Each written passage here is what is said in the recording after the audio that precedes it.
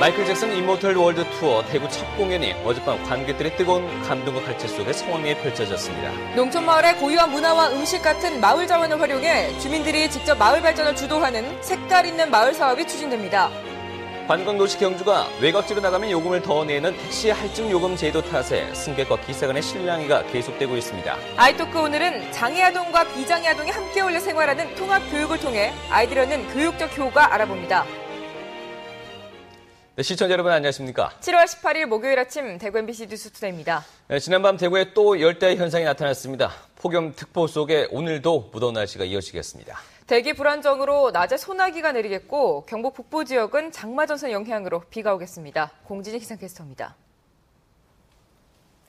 지난밤 더위 때문에 잠 설친 분들 많으시죠? 대구와 영덕, 포항에는 이틀 연속 열대야 현상이 나타났습니다. 이 폭염특보 계속 유지되는 가운데 낮 기온 32도 안팎까지 올라 어제만큼 덥겠습니다. 또 대기가 불안정해지면서 오후에는 곳곳에서 소나기가 내릴 전망입니다. 이 반면 경북 북부 지역은 장마 전선의 영향으로 비가 올 텐데요. 오후부터 밤사이 10에서 50mm가량 비가 내리겠습니다. 이번 비는 오늘 그치겠지만 다음 주 월요일부터 다시 장마 전 전선이 활성화돼 이 대구와 경북 지역에 장맛비가 내릴 전망입니다. 날씨였습니다. 네, 마이클 잭슨을 주제로 한 초대형 공연 마이클 잭슨 Immortal World Tour가 지난주 서울에 이어서 어제부터 대구에서 공연이 시작되었습니다. 화려한 무대와 퍼포먼스에 관객들은 뜨거운 반응을 보였습니다. 김은혜 기자입니다. 어제 저녁 대구 엑스코 공연을 보려는 관객들의 발길이 내내 이어졌습니다. 한켠에 마련된 포토존은 공연 관람을 기념하기 위해 사진을 찍는 사람들로 붐볐습니다.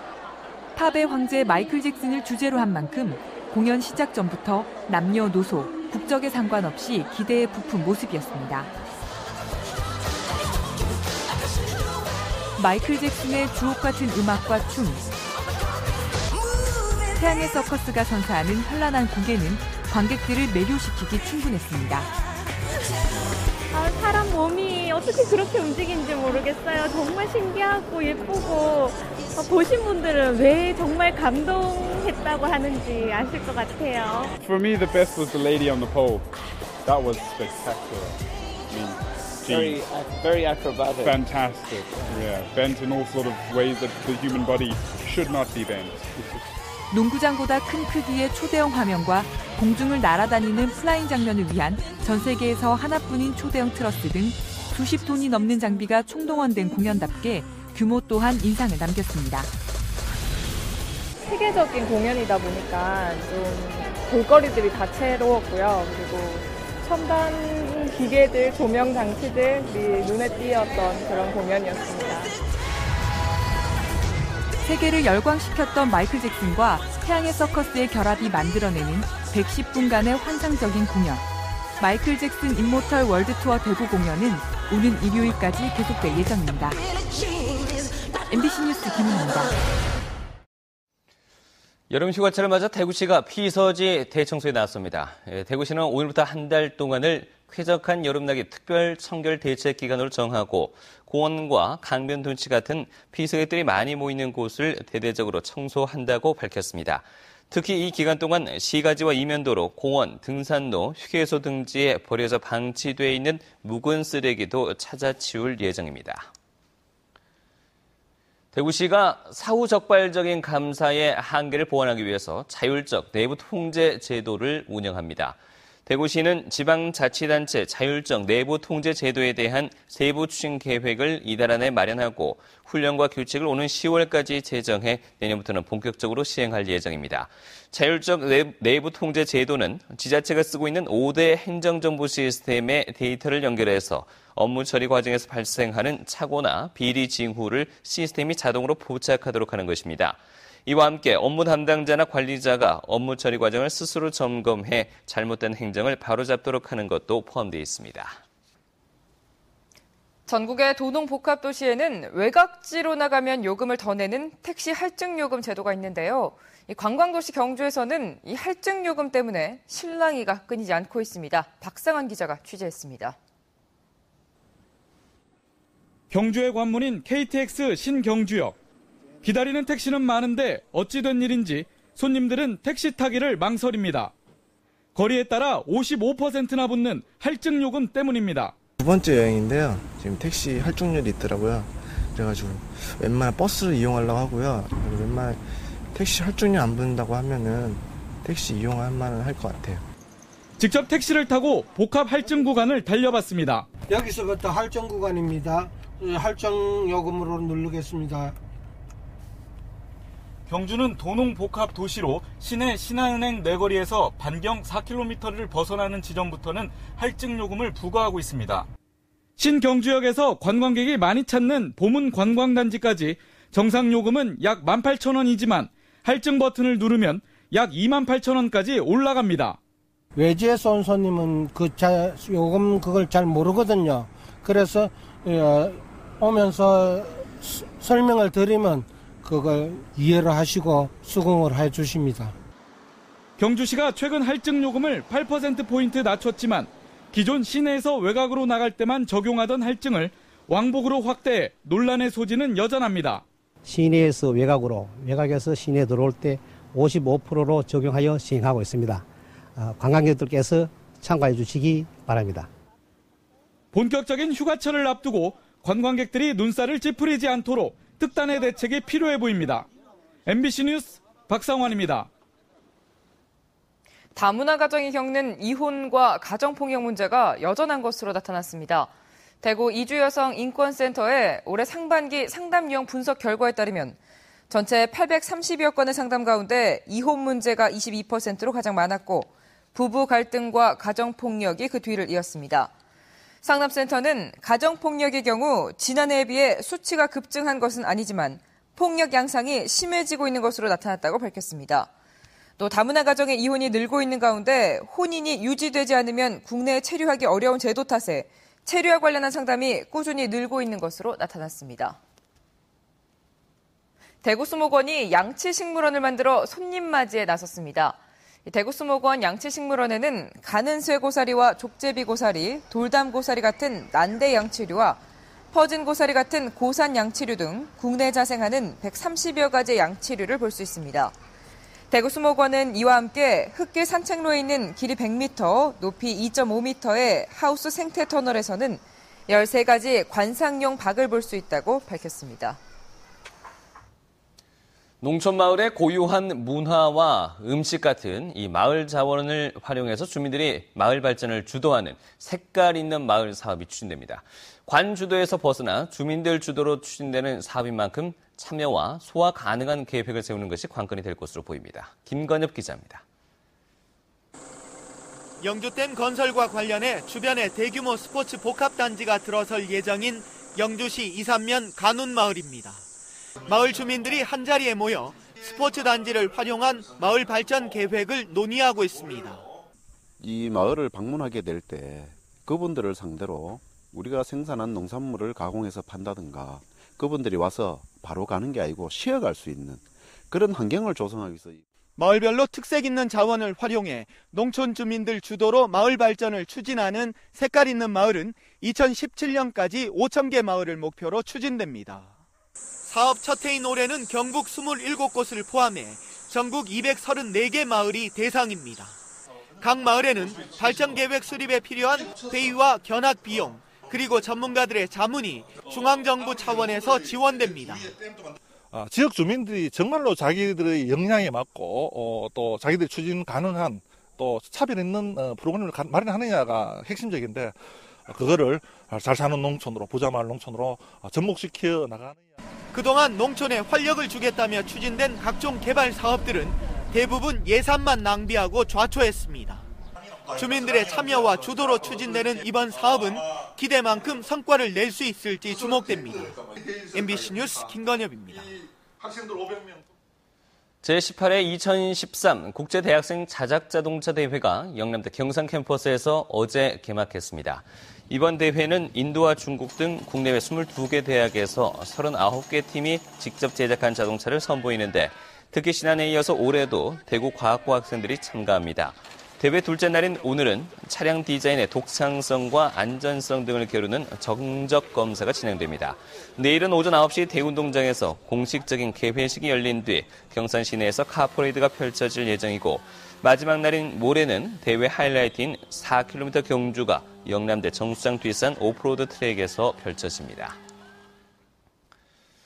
2013 대구 치맥 페스티벌이 오늘부터 나흘 동안 두류공원 일대에서 열립니다. 이 치맥은 치킨과 맥주의 첫 글자를 딴 단어인데 치킨과 맥주로 더위를 이기자는 취지로 마련된 이번 페스티벌에서는 닭 위령제와 인기 가수 초청 공연 등 다양한 행사가 이어집니다.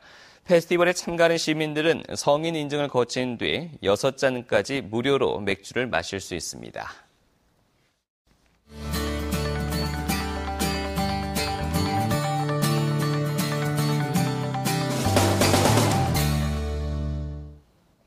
장애인에 대한 편견을 없애야 한다는 말에 동의하면서도 내 아이가 장애를 가진 아이와 어울린다면 껄끄럽다고 여기는 분들 있으시죠? 그런데 장애 아동과 비장애 아동이 어울려 생활하도록 했더니 장점이 더 많았다고 합니다. 권윤수 기자가 자세히 전해드립니다. 이 어린이집에서는 장애를 가진 아동 60여 명과 장애가 없는 아동 5명이 함께 어울려 생활하고 있습니다. 한 손이 불편한 아이는 두 손을 자유롭게 잘 쓰는 친구의 도움으로 미술 활동을 척척 해냅니다. 장애아가 많은 곳에 자기 아이를 보내고 싶지 않은 게 일반적인 생각인데 통합교육을 시켜본 학부모는 잘못된 선입견이었다고 말합니다.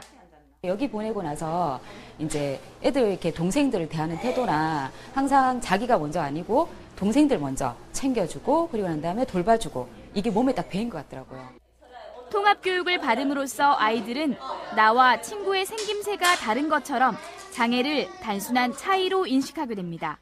불편이 있을 뿐이지 어떤 어떤 뭐 불합리하다거나 뭐 어떤 이상하게 느낀다거나 그런 점은 전혀 없다라는 거죠. 그래서 통합 교육은 어려서부터 시작하는 게 필요하고 교육 전문가들은 아이들이 갖는 고정관념이나 편견은 부모의 영향을 받아 형성되는 게 많다고 지적합니다. 그런 아이들하고 지났을 때 혹시 내가 그게 어, 가, 너의 가치를 떨어뜨리는 게 아닐까 이런 것 때문에 미리 좋지 않다라고 생각하고 자기 아이가 장애를 가질 것이라 하는 그에 대한 생각은 없는 것 같습니다. 이런 편견들 때문에 청소년기에 이른바 왕따 같은 문제가 나타날 수 있다며 선입견을 깨는 부모의 교육과 지도가 중요하다고 조언했습니다. 아이토크 권윤수입니다. 대구 시내 각급 학교에서 동아리 활동을 통해 책을 써 출판까지 한 학생 저자들이 서남수 교육부 장관을 만나 출판한 책 30권을 전달했습니다. 지난 2009년 책 쓰기 교육이 시작된 이래 대구에서는 4만 명의 학생 저자가 탄생했고 이 가운데 78권이 정식 출판됐습니다. 러시아 국립의과 대 학생들이 대체의학으로 각광받는 한의학을 배우기 위해 대구 한의대에서 한방 연수를 받고 있습니다. 러시아 국립의과 대 학생 12명은 오는 21일까지 대구 한의대와 부속 한방병원 등지에서 한의학 기초 이론을 배우고 본초학과 침구학, 한방해부학 등을 실습합니다.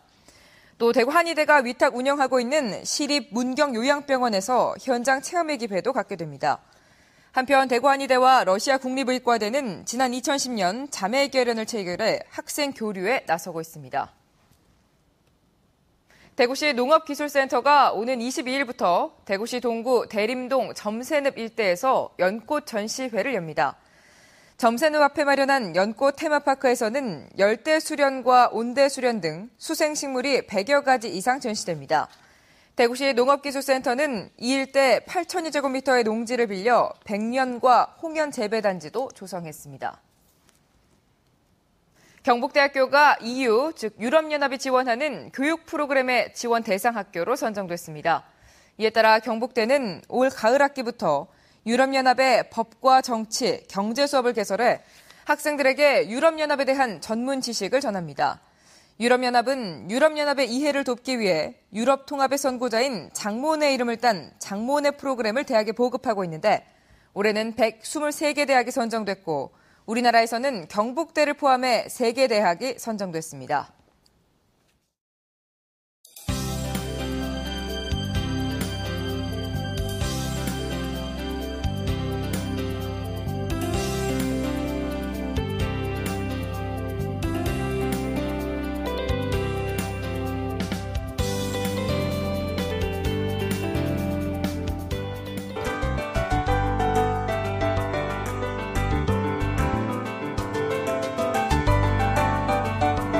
지난밤에도 꽤 더웠습니다. 대구와 영덕, 포항에는 또다시 열대야 현상이 나타났는데요. 대구와 경북 남부 일부 지역에는 폭염특보가 발효 중인 가운데 낮 기온 32도 안팎까지 오르면서 어제만큼 덥겠습니다. 또 대기 불안정으로 오후에는 곳곳에서 소나기가 내리겠습니다. 반면 경북 북부 지역은 장마 전선의 영향으로 비가 올 텐데요. 오후부터 밤 사이 10에서 한 50mm가량 내릴 것으로 전망하고 있습니다. 중부지방에 위치한 장마전선의 영향으로 서울과 경기 등 중북부 지역과 경북 북부 지역에는 산발적으로 비가 오고 있습니다. 밤이면 모두 그치겠고요. 남부 지역은 대기 불안정으로 소나기만 내리겠습니다. 오늘 아침 기온 대구 27도로 열대야가 나타났습니다. 낮 기온은 32도로 어제와 비슷하겠습니다. 구미의 낮 기온 31도, 김천 30도로 어제보다는 조금 낮겠고 북부 지역은 장마 전선의 영향으로 비가 오겠습니다. 포항에도 열대야 현상이 나타났습니다. 물결은 2.5m까지 약간 높게 일겠습니다. 네, 내일부터는 구름 많고 무더운 날씨가 이어지겠습니다. 일요일에는 소나기만 내리겠고요. 하지만 다음 주 월요일부터는 다시 장마 전선의 영향으로 비가 오겠습니다. 날씨였습니다.